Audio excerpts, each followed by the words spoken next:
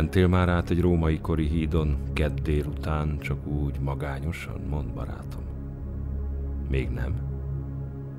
Próbáld ki egyszer. De vigyázz, ne legyen semmi célod, semmi dolgod, egyik parton sem.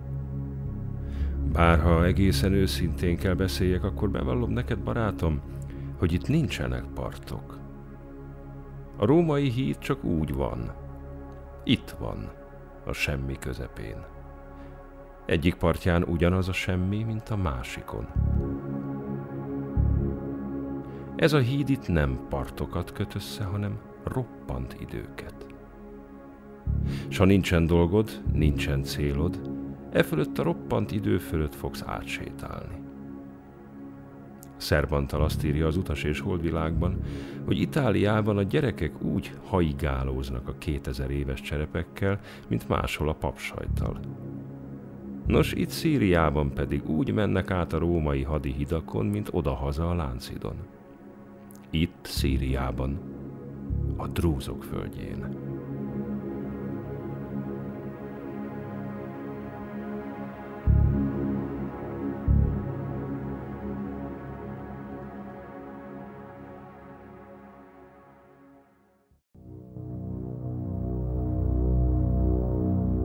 És hogy kik azok a drúzok? Nem is olyan nagyon könnyű válaszolni erre a kérdésre. Azt minden esetre kijelenthetjük, hogy a drúzok egy vallási közösség. Semmiképpen sem mondanám, hogy szekta lévén több mint ezer évesek. Történt, hogy az izmaelita síták közt alakult meg az új vallás, az alapító pedig Hamza ibn Ali perzsa misszionárius. Az alapítás helyszíne Kairó. A vallás alapítók és a hívek a Fatimida kalifa Al-Hakim istenségét hirdették, és hirdetik mind a mai napig. Amúgy az a jó az ilyen mondatokban, hogy mindjárt újabb és újabb kérdéseket vetnek fel. Itt van mindjárt ez. Mi az a Fatimida? Rendben van, ezt még elmondom. A Fatimida egy 10. századi eredetileg észak-afrikai, később közel-keleti uralkodóház. Nevük eredete Fatima, Mohamed próféta leánya. A dinasztia tagjai ugyanis Fatima leszármazottjainak tartották magukat. Noha eddig eljutottunk, akkor elég megjegyeznünk, hogy tehát a drúzok a Fatimida kalifa Al-Hakim istenségét hirdetik. Misszionárius tevékenységükkel 1043-ban felhagytak. Közösségük azóta zárt közösség. Vagyis a vallást nem veheti fel más, és egymás között házasodnak. Mindezeken túl pedig tiszteletre méltóan harcias és bátor nép. Még az oszmán birodalom hatalmát sem voltak hajlandóak elismerni, saját hadsereget szervezve harcoltak a hódítók ellen. S ma itt élnek, Szíria és Libanon határvidékén. Itt élnek több mint ezer esztendeje. Közöttük halad utunk, Sába felé. Fekete tájon, fekete múltba, a római birodalom hanyatlásának korába. Krisztus után járunk a második század végén, harmadik század elején. Ez Szíria fénykora. Palmira az egész római birodalom területén kezében tartja a kereskedelmet. Az Indus völgyétől Britanniáig palmírai kereskedelmi depók állnak mindenütt. Egy római rétor így sóhajt fel. Már a Tiberis is szírül susog. S jön Septimius Severus, a pannóniai légiók parancsnoka, és császár lesz. Kezdődik a Severusok katona császársága. A szír császárok kora, az utolsó aranykor, amelyben már ott rejtőzik a végső bukás.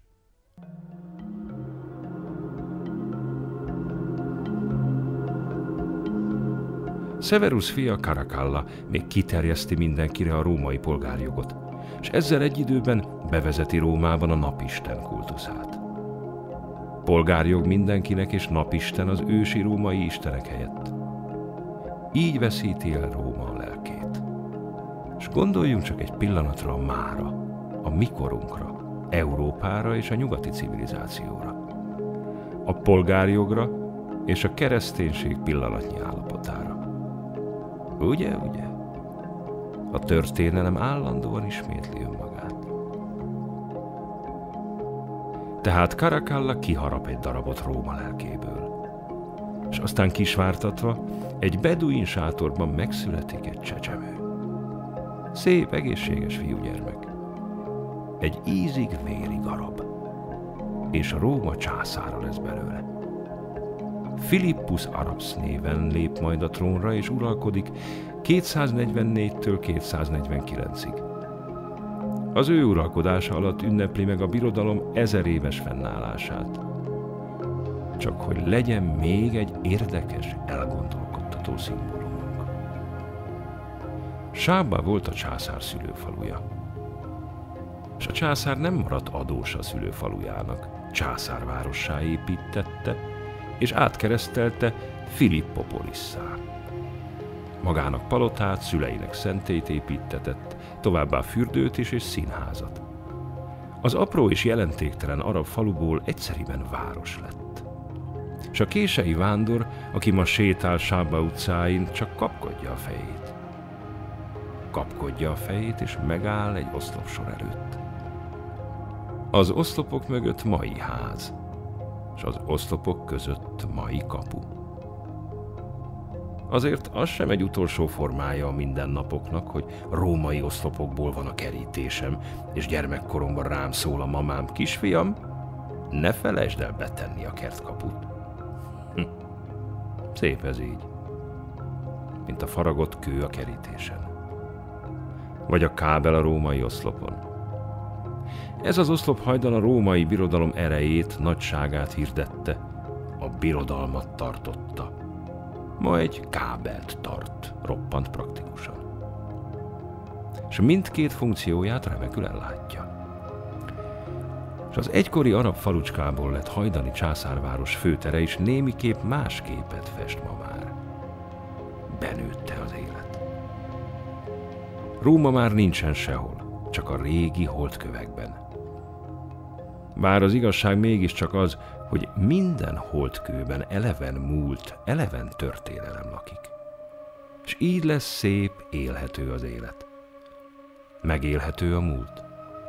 És mikor Filippus Arabsz várost építetett szülőfalujából, meg volt győződve róla, hogy az örökké valóságnak alkot. Meg volt győződve róla, hogy a római birodalom örök. Mindenkor minden civilizáció meg van erről győződve. Jó volna, ha egyszer, csak egyetlen egyszer így tudnánk nézni önmagunkra. Bizony volt idő, amikor a nabateusok is azt gondolták, hogy örökkévalóak. És az államuk is örökkévaló.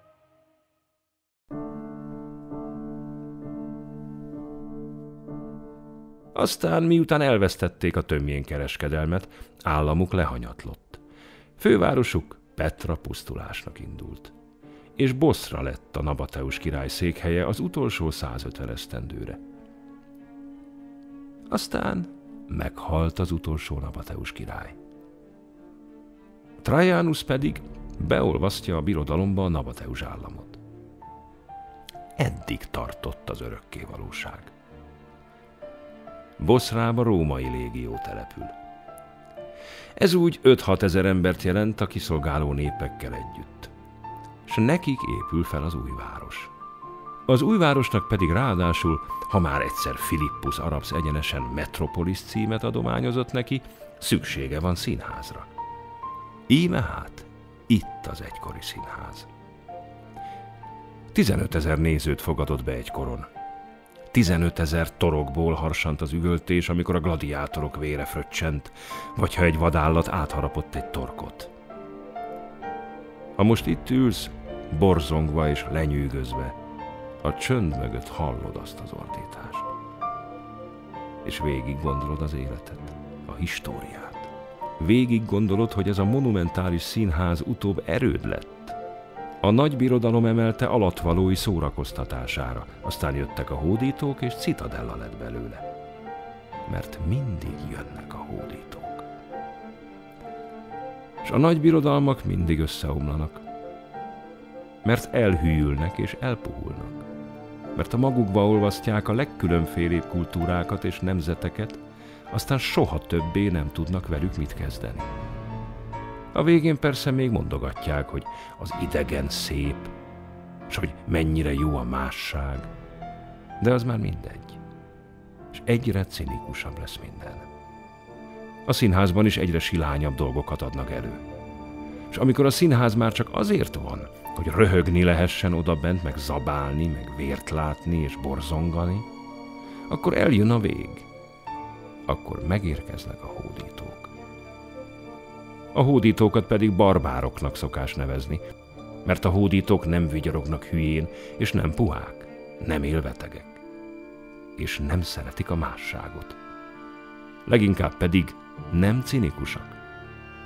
A barbárok azért barbárok, mert még hisznek valamiben. És amikor megérkeznek, már nem csak a színházban folyik a vér. És egy elpuhult, élveteg, öntelt, önmagát túlélt birodalom az enyészeté lesz. Aztán persze csak idő kérdése, hogy a barbárok is elpuhuljanak és elhűljenek, cinikussá váljanak, elkezdjék szeretni a másságot, és akkor minden kezdődik előről. A nyugat azt hiszi magáról, hogy a legmagasabbra jutott, és hogy a leghatalmasabb. Ezért aztán most a legnevetségesebb, legrémisztőbb és legszánalmasabb. S főként a legcinikusabb. Itt keleten más a helyzet. Itt is van baj elég, de legalább nincsen cinizmus. Hit van helyette. És az idegen tiszteletéből sem fabrikáltak elviselhetetlen és guztustalan önfeladást. Hit és önbecsülés dolgában ugyanott járnak ők, valahol Saladdin és az omájádok korában. Mi pedig kinevetjük őket ezért. Rosszul tesszük nagyon rosszul. Mert nézzétek csak meg jól. Róma egykori monumentális színházát ma is Saladdin utódainak vára veszi körül. Ezért olyan félelmetes és nagyszerű szimbólum Boszra citadellája. Már ha valaki megtudja, meg akarja, meg meri érteni az üzenetet. És ha mindez nem elég, hát itt a citadella körül a 2000 éves város. 2000 éves városban pedig csak büszkén lehet élni. Az oszlopsor szegélyezte főutcán azért csak kézen fog a csönd és az idő, igaz, barátom? Gyere, ne félj! Az egykori vásárcsarnokba éjszakánként visszajár a múlt. Itt minden üvé visszajár a múlt. Az Omár mecsetben imádkoznak. Éppen úgy, mint Omár kalifa idejében. És ez a tény mégiscsak felhatalmaz egy kis önbizalomra, nem barátom? És nézd csak az írást, renoválva 1113-ban. No hát, ehhez mit szólsz, barátom? Van-e ennél hitelesebb időutazás? És gyere csak tovább, még nincs vége. Egyiptomon kívül egyetlen izmaelita, fatimita mecset van a világon. Igen, éppen itt Boszrában. És ha már eddig eljöttünk, az időt tapogatva, hát álljunk meg egy pillanatra Bahira szerzetes templománál is. Hiszen a derék szerzetes együtt meditált Mohamed profétával, és ő jövendölte meg a proféta eljövetelét. És hogy a keresztények is leborulhassanak valahol itt az idő várossá lett templomában, hát áll még a katedrális. Monofita keresztények építették, még Julianus püspök idején a hatodik században. És már csak az idő miatt is szereti ezt a helyet az Isten. És nézd csak, áll még a helytartó palotája. Ez volt a Nabadeus király székhelye. Aztán ide költözött a római helytartó, csak hogy jogfolytonos legyen a hatalom. De a kapu akkor is Nabadeus kapu. A gumiabroncs a 2000 éves falban pedig akkor is gumiabroncs, Hiába no, mindenkor hozzáteszi a magáit a teremtéshez. És a helytartó palotáját lám ma is lakja valaki. És valamiért nagyon remélem tudja, hogy hol ébred fel reggelenként. Mikor az első Koránt elhozták Szíriába, a 600-as években jártunk. Teve hozta a Szent Könyvet. és mert egyszer a tevék is elfáradnak, hát ez a mi tevénk is letérdelt napszáltakor, hogy megpihenjen. Ahol letérdelt, odaépült a Mabrek mecset. Benne van a kőben a teve térdének nyoma. Úgyhogy nagyon közel van itt a hit. Talán ezért is működik szunnita iskola a mecsetben. Talán ezért kell olyan suttogóra fogni a hangot errefelé. Vagy a mecset mögötti középkori temető insuttogásra? Nem tudom. Vagy csak sejtem, és nem merem kimondani. Esteledik. Istenem, ez a cégér, ez a cégér hívogat. Tudtam, hogy így kell legyen. Tudtam, kell lennie Boszrában Szindbád étteremnek. Megyek.